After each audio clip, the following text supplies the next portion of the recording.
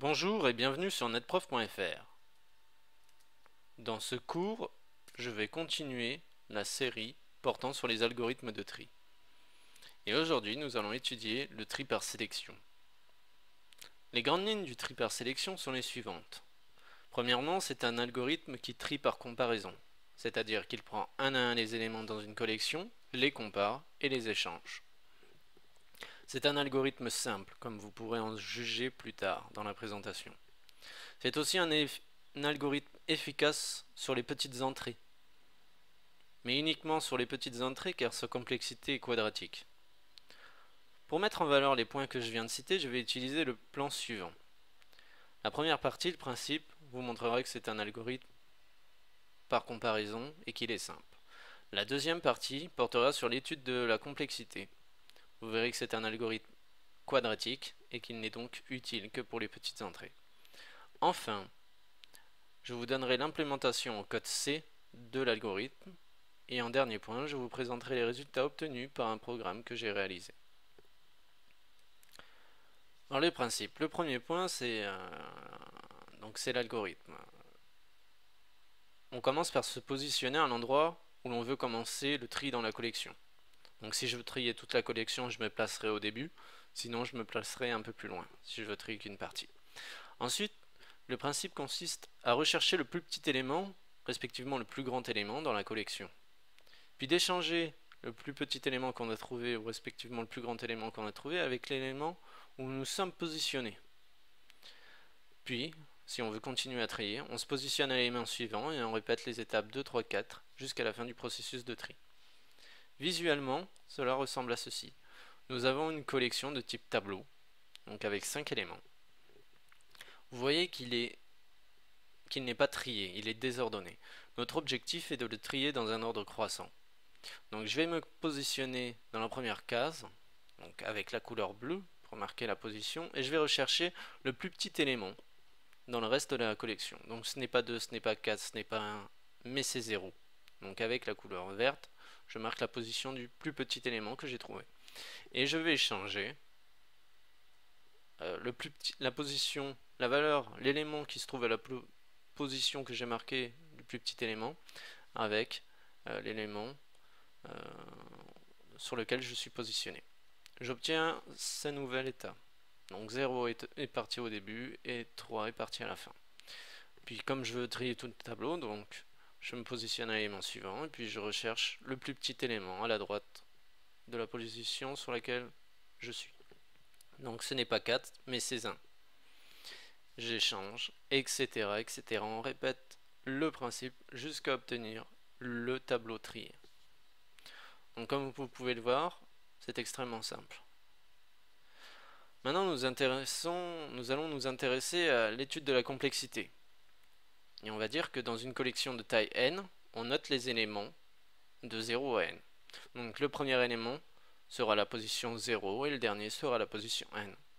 Vient immédiatement à l'esprit que depuis une position p, il faut n-p moins une comparaison pour arriver à déterminer le plus petit élément respectivement le plus grand élément dans la collection. Si vous n'arrivez pas à voir ceci, faites-vous un petit dessin chez vous. Vient alors immédiatement à nouveau à l'esprit que le nombre de comparaisons est égal pour trier du début jusqu'à la fin à la somme de i allant à 1 jusqu'à n, où n représente la taille de la collection, de l'expression n-i. Et je vais démontrer que cette suite, enfin que cette somme suit une suite quadratique. C'est-à-dire que je pose l'égalité suivante. La somme est égale à la suite n facteur de n-1 le tout divisé par 2. Je vais supposer que c'est vrai pour le cas où n est égal à 1. Donc je fais la somme, j'obtiens 0, je calcule la suite au rang 1 et j'obtiens 0. Il y a correspondance. Donc maintenant je vais supposer que cette relation est vraie pour, pour n. Et je vais m'intéresser maintenant à n plus 1. Que se passe-t-il à n plus 1 donc ma suite devient n plus 1 facteur de n plus 1 moins 1 le tout divisé par 2, ce qui est égal à n facteur de n plus 1 le tout divisé par 2. Et ma suite, je vais la réécrire comme la somme de i allant jusqu'à n plus 1 de l'expression n moins i. Ceci c'est égal donc à la somme de i égale à 1 jusqu'à n de l'expression n moins i plus n. Et comme j'avais trouvé qu'il y avait correspondance entre la suite et la somme pour n égale 1 et que je la suppose vraie pour tout n, donc je vais remplacer la somme par la suite, l'expression de la suite. Donc j'obtiens n facteur de n moins 1, le, tout divisé par 2 plus n, et je retombe bien sur l'expression de ma suite au rang n plus 1, c'est-à-dire que ça soit égal à n facteur de n plus 1, le tout divisé par 2. Donc pour n, j'ai l'expression n facteur de n moins 1, le tout divisé par 2. Si nous développons, cela donne n au carré moins n, le tout divisé par 2. Comme le terme au carré apparaît, c'est bien une complexité quadratique. Cela veut dire que, lorsque n tend vers de grandes valeurs, le nombre de comparaisons sera très grand. Vient immédiatement à l'exprès qu'il faut utiliser cet algorithme pour des petites tailles. Je dirais environ jusqu'à 10 éléments. Plus tard, je me présenterai les résultats obtenus pour une centaine d'éléments. Et je commenterai. Maintenant, passons à l'implémentation en code C que j'ai réalisé. Le sous-programme tri par sélection retourne un entier non signé, et cet entier non signé en fait contiendra le nombre de comparaisons qui a été fait.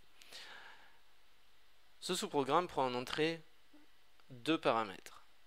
Le premier paramètre est un pointeur sur une collection de tableaux, une collection de type tableau d'entiers signés.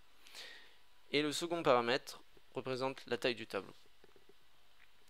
Donc je ne commande pas plus l'algorithme, si ce n'est que j'ai laissé un sous-programme échanger qui échange dans le tableau l'élément la valeur i et l'élément désigné par euh, la variable position ppe.